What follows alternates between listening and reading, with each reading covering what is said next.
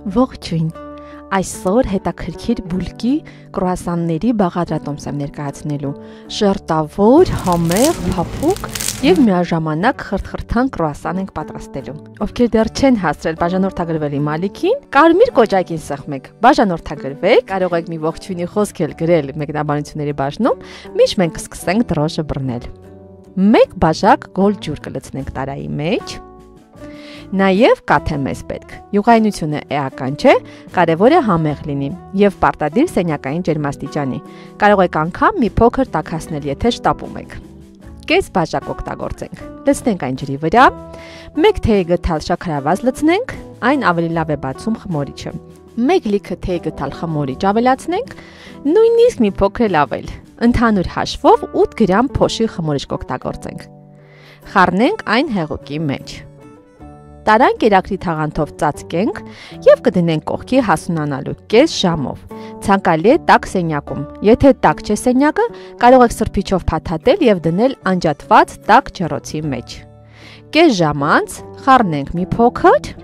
կստանանք այսպիսի անհամասեր զանգված։ Կավելացնենք կես թեյ գթալ աղ։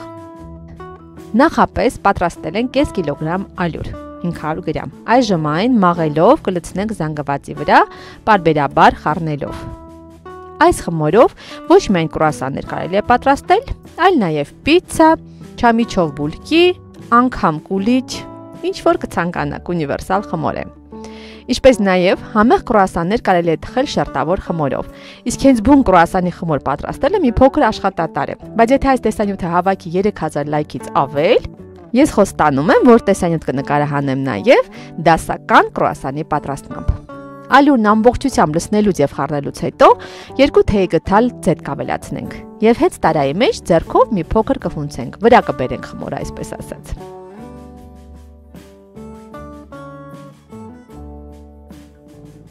Տարայի պատերն էլ կձեթոտենք եւ խմորը կդնենք կողքի հասունանալու մոտ 3 ժամ։ Պարտադիր տաք սենյակում։ Ծածկենք թաղանթով պոլիէթիլենային, որպիսի անոթ տաք միջավայր ձևավորվի, ավելի արագ հասնանա եւ կեղևել չբռնի խմորի վրա։ Դրեցինք մի կողմ 3 ժամ անց, ահա լավ հասունացել է մեր խմորը, վրա բերենք մի փոքր նստացնենք։ Այն պետք է բաժանենք հավասար գնդերի։ Այս չափաբաժնից ձևավորենք 10 գունդ։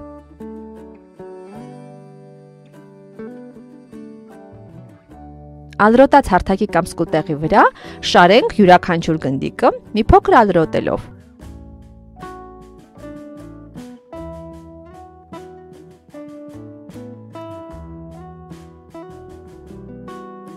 Սրբիչով ծածկենք։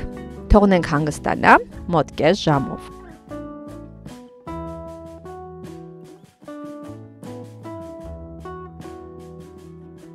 Այս խմորը դրոժով խմորներից տարբերվում է նրանով, որ սրանից շերտավոր բուլկիներ ենք ստանում։ Իսկ շերտերը ստանում ենք ահա այս սկզբունքով։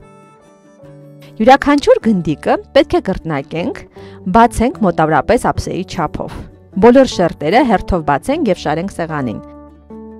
Եթե իրար վրա եք շարելու շերտերը, ապա պարտադիր յուրաքանչյուր շերտի վրա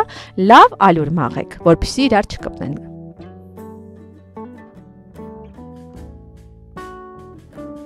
մեզ հարկավոր է 100 գրամ կարակ։ Կտրենք, դնենք սենյակային ջերմաստիճանում լավ փափկելու։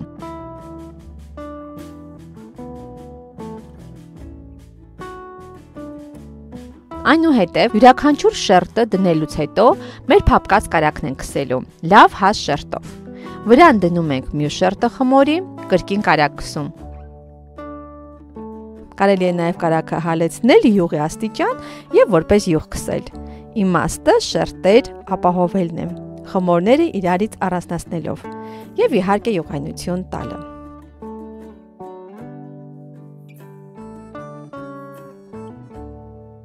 Բոլոր շերտերը պետք է լավ կարակապատենք, բացի վրայի շերտից իհարկե։ Այն մի փոքր լայն ենք բացում եւ հարկավոր է եզրերը, ահա վերևի շերտով այսպես միացնել իրար, փակել կարելի ասել շերտերը։ Հետո շրջում ենք այս շրջանը, կրկին լավ ալրոտում եւ լայն գրտնակում շրջանաձև։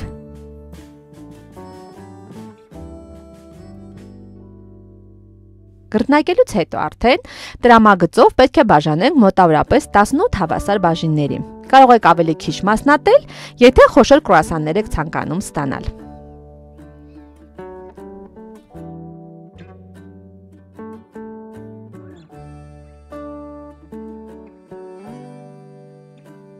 լայն հատվածում այսպիսի փոքրիկ կտրվածներ ենք անելու եւ արդեն միջուկն ենք լցնելու։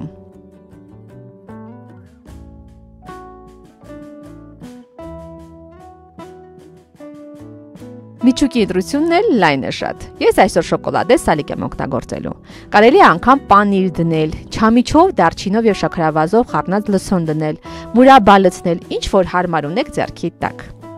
Ոլորում ենք ահա այս սկզբունքով։ Եթե ոչ կրուասանների տեսքով, ապա կարելի է գրտնակել շրջանակաձև, խորիզի նման ամբողջությամբ տարածել որևէ միջուկ, ոլորել եւ կտրատել սինաբոնի նման թխելով։ Կրկին շատ գեղեցիկ եւ համեղ կստացվի կարծում եմ։ Մեկ ձուն, մեկ թեյ գթալ ձեթի հետ լավ հարենք եւ բոլոր կրուասանները առատորեն պատենք ձվով։ Մեկնաբանություններում գրեք, թե ինչ թխվածք կամ ուտեսք ցանկանաք, որ տեսանյութով ներկայացնեմ ձեզ։ Ես բոլոր ձեր ցանկությունները հաշվի կառնեմ։ Ջեռոցը նախապես լավ տաքացնենք։ Թխելու ենք սկզբում 200 աստիճանում 10 րոպե, որ լավ բարձրանա սկզբնական, հետո ջերմաստիճանը իջեցնենք 180 աստիճան եւ 20-ից 25 րոպե այս ջերմաստիճանում ենք թխելու։ Իսկ եթե որոշեք շերտավոր խմորով պատրաստել կրուասաններ, ապա ես հողումներ կթողնեմ իմ շատ հաջող շերտավոր խմորների բաղադրատոմսերով։ Մի օր էլ դրանով կփորձենք։ Իդեպ, ձեր թխվածների նկարները, որոնք պատրաստում եք իմ բաղադրատոմսով, կարող եք ուղարկել մեր Facebook-յան կամ Instagram-յան էջին կամ տեղադրել մեր Facebook-յան խմբում։ Բոլորից սպասում եմ այնտեղ։ Բոլոր հղումները կգտնեք տեսանյութի տակ։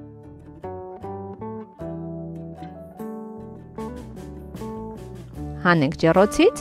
հիանանք փամփլիկ տեսքով մեր բուլկի կրուասանների։ Կիսենք մեկը, տեսնենք ինչպիսի շերտեր ենք ստացել։